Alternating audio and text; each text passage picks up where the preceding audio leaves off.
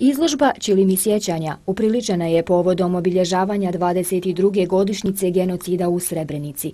Čilime sjećanja već dugi niz godina tkale su članice udruženja Bosfam, a mnogima od njih agresija na Bosnu i Hercegovinu odnijela je njihove najmilije. Svaki od ovih čilima koje smo mi do sada uradili, sastavljeni iz panoa, to možete vidjeti na čilimima, svaki taj pano koji je otprilike veličine 40 sa 40 predstavlja jednu žrtvu genocida.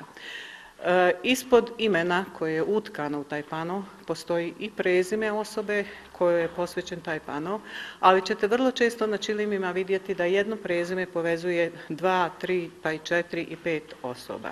Znači, to prezime je u suštini pripadalo tim osobama i uglavnom se radi o braći, o ocu i sinovima i o tome da je možda iz neke porodice čak i po pet, šest članova nestalo. Čilim sjećanja sačinjen je od panoa od kojih svaki predstavlja sjećanje na žrtvu srebreničkog genocida iz 1995. godine. Dodavanjem novih panoa Čilim sjećanja raste i čuva uspomene. Čilim je trajna vrijednost naših prostora, opstaje i traje. Tkanje s mnogo ljubavi, motiva, boja koje se prepliću u jednu cijelinu. Uvijek i svuda podsjećaju na toplinu doma. Stoga i ovdje predstavljaju mnoštvo sudbina, žrtve genocida, članove familija koji su nastradili. Ono što smo još htjeli predstaviti na ovim čilimima jeste i to da je u Srebrenici nastradao iz svijet iz Srebrenice, iz Potočara, iz Zvornika, iz Bratunca, pa smo tako na nekim čilimima postavili i imena osoba iz tih gradova, odnosno iz tih opština. Htjeli smo posebno potencirati i to da je u Srebreničkom genocidu nastradalo jako puno djece, pa ćete vidjeti ovdje jedan bijeli čilim koji je posvećen djeci koja su mlađa od 15 godina. Znači, ni jedno od onih imena na bijelom čilimu ne pripada osobi koja je imala 15 godina. Svi su bili mlađi.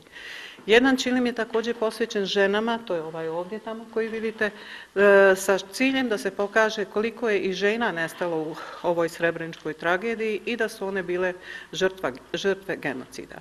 Na čilimima su predstavljena imena i nerođene djece, pošto je bilo slučajeva da je žena otišla s mužem, da su očekivali bebicu i da ni dan danas nisu pronađeni. E, jedan od ovih čilima tamo pripada prosvjetnim radnicima sa područja opštine Srebrenica, gdje je upisano 25 imena prosvjetnih radnika koji su samo dio od onog broja prosvjetnih radnika koji su nestali u tragediji Srebrenice. Čilimi sjećanja do danas su predstavljeni na mnogobrojnim izložbama u Bosni i Hercegovini, zemljama Zapadne Evrope i Sjedinjenih američkih država.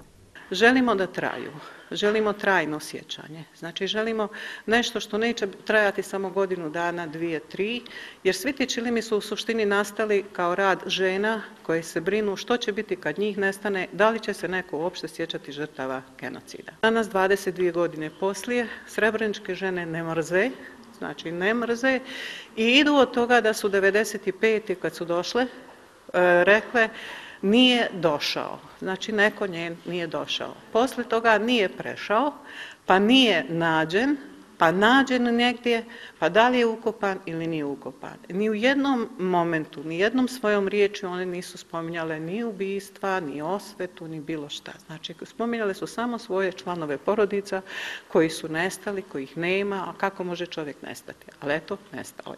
Želja Bosfama, žena koje su na bilo koji način vezane za Bosnom svih ovih 20 i kusur godina koliko djelujemo, jeste da se pamti, da se pravda traži, da žrtve imaju pravo na to da budu dio sjećanja našeg, znači našeg sjećanja i dio sjećanja okoline u kojoj mi živimo. Nismo vjerovali da se tako nešto može dogoditi, dogodilo se, želja je da se ne ponovi i da se ne zaboravi istkani rukama vrijednih bosanskih žena na tradicionalan način sa više hiljada imena žrtava genocida, svuda i stalno podsjećaju da se žrtve nikada ne zaborave, da se nikada nigdje i nikome ne ponovi Srebrenica.